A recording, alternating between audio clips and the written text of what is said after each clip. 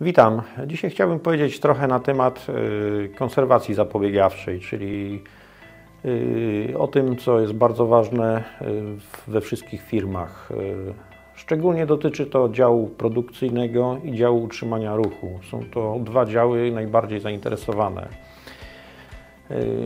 Przeważnie jest tak, że dział, który powinien o to dbać, czyli dział utrzymania ruchu, nie zostaje dopuszczany przez dział produkcji, który ma napięte plany produkcyjne. Kończy się to zazwyczaj y, drogimi, kosztownymi naprawami y, oraz długimi przestojami potrzebnymi na naprawę maszyn.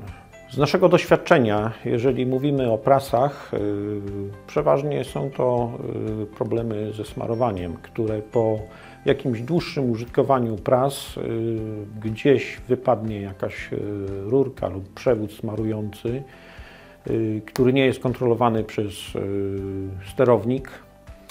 Nie wiemy, czy smarowanie jest, czy go nie ma, a takie przeglądy okresowe mogą ten błąd wyłapać w miarę szybko i zapobiec długim postojom maszyn. Dla przykładu chciałbym tu pokazać y, kilka zdjęć y, uszkodzonego wału prasy y, spowodowanego tym, że był brak smarowania panewek korbowodowych.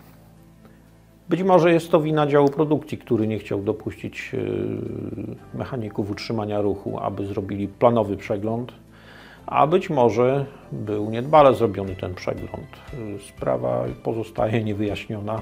Natomiast y, przestój i droga naprawa y, niestety obciążają całe przedsiębiorstwo.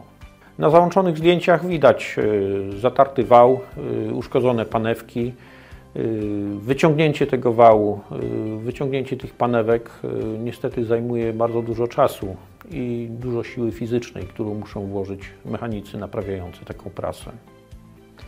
Zachęcam wszystkich, do, aby pilnować planowanych przeglądów i aby działy produkcji, działy utrzymania ruchu y, współpracowały razem i stwarzały sobie możliwość y, dokonywania tych przeglądów.